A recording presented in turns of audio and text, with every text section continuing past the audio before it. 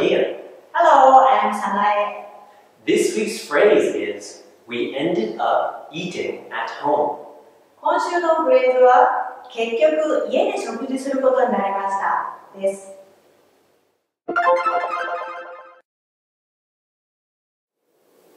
end of 動詞 ing で結局何々することになると主に悪い結果になってしまった場合に用いられます例えば We ended up eating at home. 結局家で食事をすることになった。というふうに使います。また end up with 名詞や end up in 名詞で結局何々で終わるという使い方もあります。こちらの例としては She ended up in the hospital. 彼女は結局入院する羽目になったというものがあります。ぜひ使ってみてください。Now, let's try the phrase in conversation. それでは実際の会話でどのように使われているか見てみましょ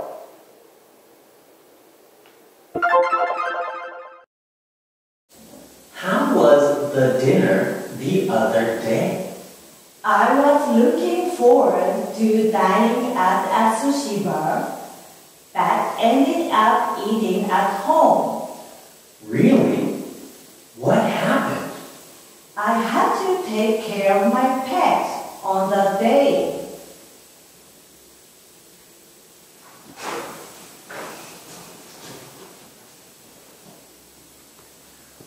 How was the dinner the other day?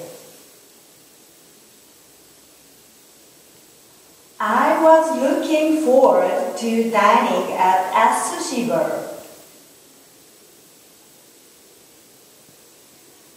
But ended up eating at home. Really? What happened? I had to take care of my pet on that day.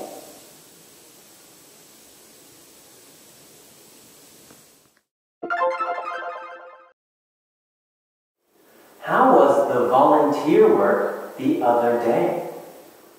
I was looking forward to working at a pet shelter, but ended up canceling it. Really?